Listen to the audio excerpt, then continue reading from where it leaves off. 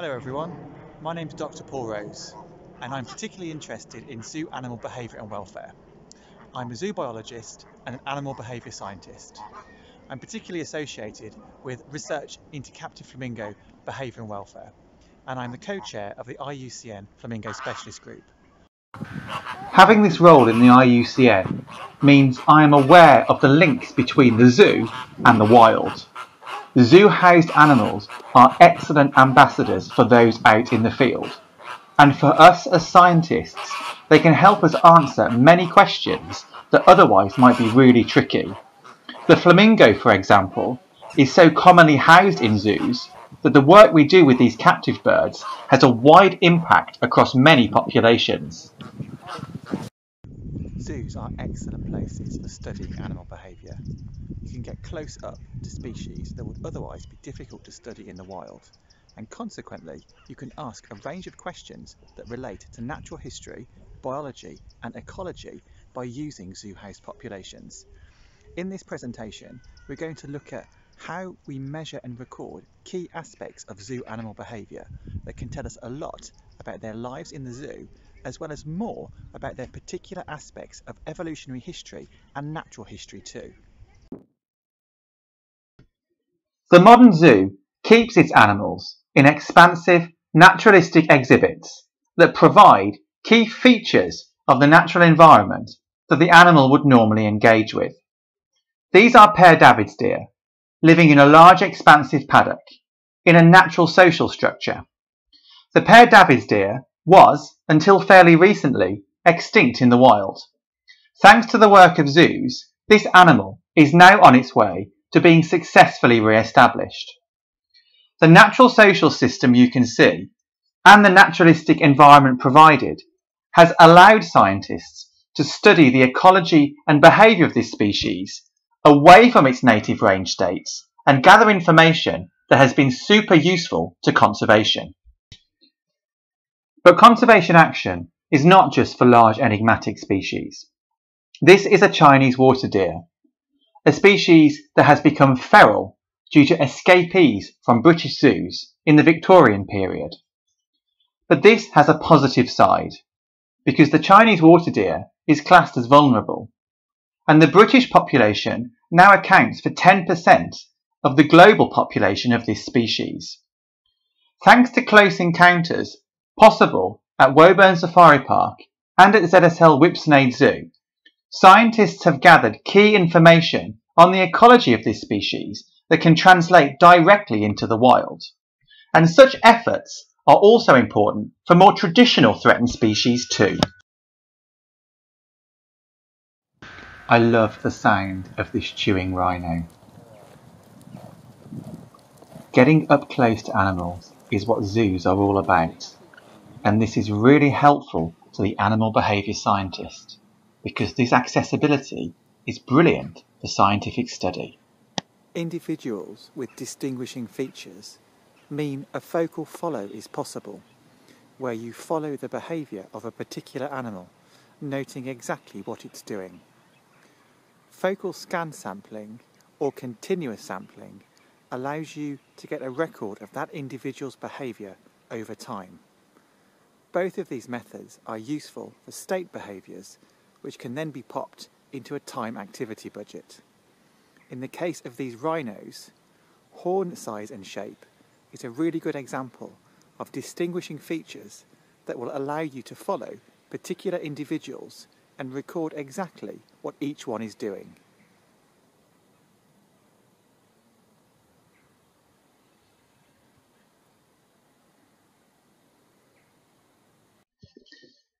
Focal follows are really important when we want to see how being in the zoo impacts on individual behaviour patterns. These giraffes, each one of them is individually identifiable by its coat patterns. Therefore, we could create a time activity budget for each specific animal in the group. These time activity budgets tell us how giraffes proportion up their energy and therefore the motivation for particular behaviours. Time, which is how we record behaviour, is equivalent to energy, which is equivalent to motivation. This therefore gives us an insight into animal welfare. The more motivated an animal is to perform that behaviour, the more it will want to perform that behaviour. And that is expressed as a moment of time which we then record using our focal scan samples or our continuous sampling of each individual's time spent on behaviour in its activity budget.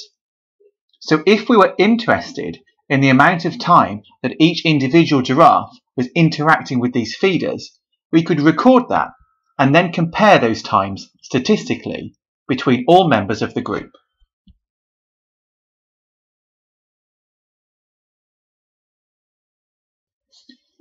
Individual focal follows are particularly relevant when we want to measure how animals interact with things that we have provided for them within their environment. For example, usage of environmental enrichment.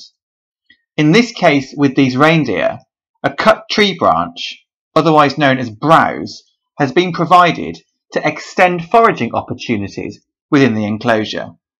We can measure individual interaction with the enrichment, and we can also measure behavioural diversity, the change to the number and time spent on behaviours performed by the individuals when they get enrichment. Therefore, by using focal recording techniques and directly measuring the amount of time spent interacting with the enrichment, as well as the time spent on the range of different behaviours performed, we can get an idea of how useful the enrichment is to the animals, how long they spend interacting with it, and therefore how can we change or adapt the enrichment so it promotes more naturalistic behaviours.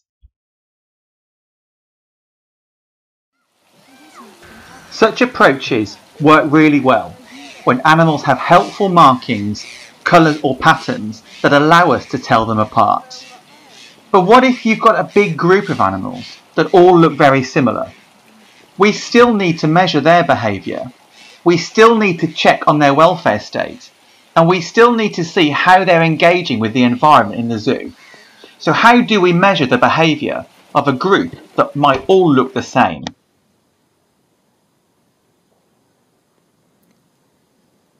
If you have a large group of animals together, that you can't individually identify, then you need to use an instantaneous scan sample.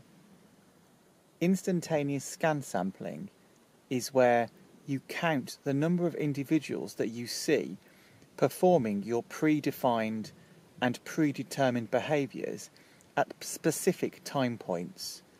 For example, if you are studying this mixed herd of deer every two minutes, or every one minute, or every five minutes per hour, you would count the number of individuals performing the particular behaviours from your ethogram on these one, two, or five minute sample points.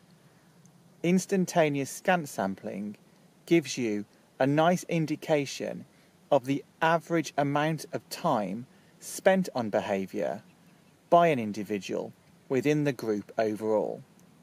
Behaviour is averaged over the count of all individuals within the group.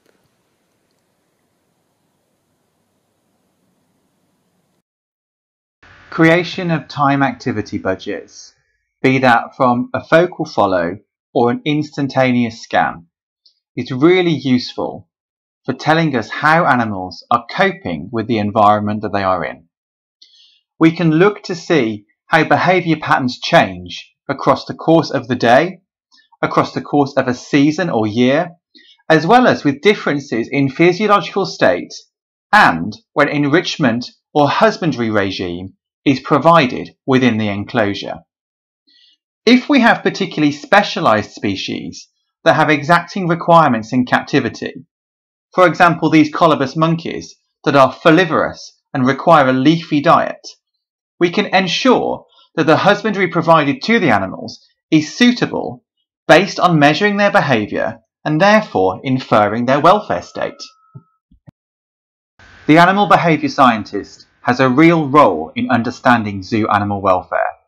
We can document the effect of stereotypic or abnormal repetitive behaviours, watch the stargazing in this giraffe, we can work out the stimulus for that abnormal behaviour, understand how it might be changed with enrichment, and provide the animal with better ways of coping.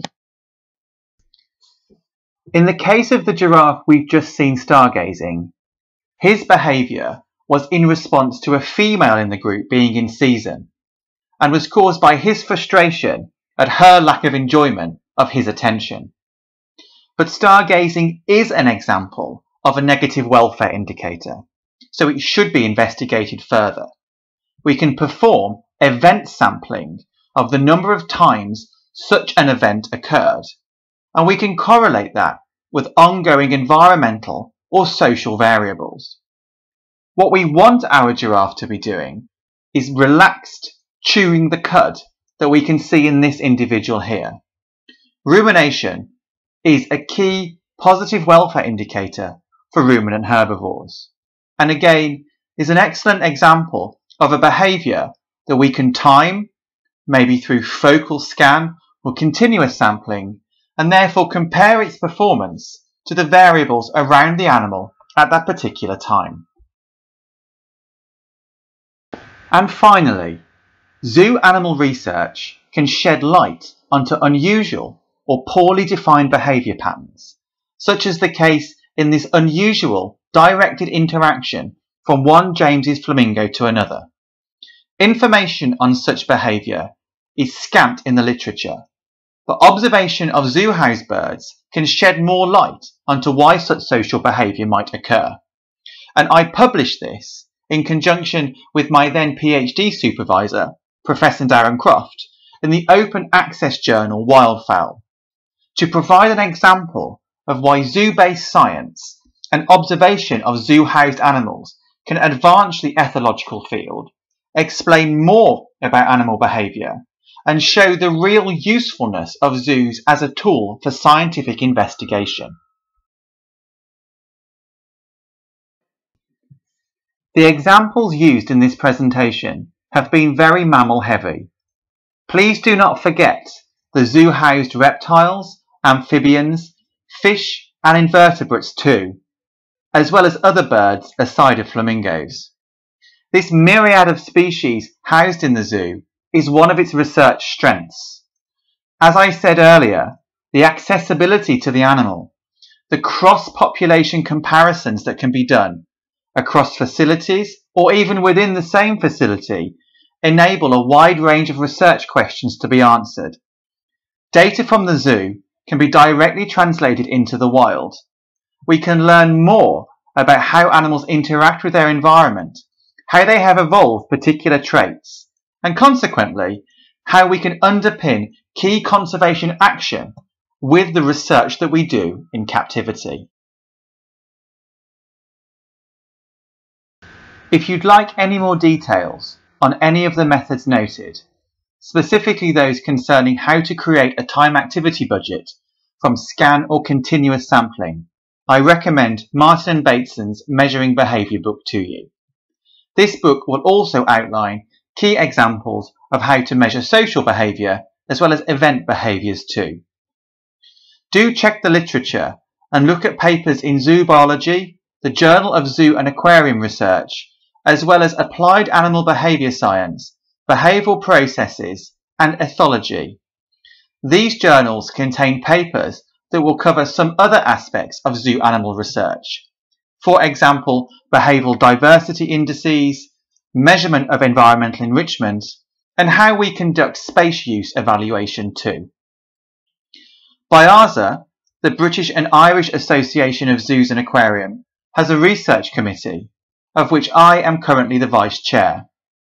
And BIAZA's research committee has produced a handbook of zoo and aquarium research.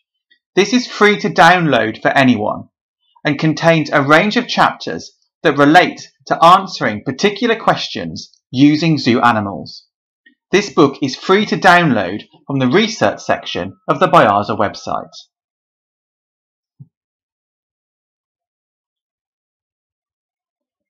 I hope this short presentation has shown you the relevance of zoo animal populations to scientific study. Zoos conduct excellent work into education, conservation and research. Their outputs in the world of science are valid, repeatable and useful to a range of both pure and applied scientists.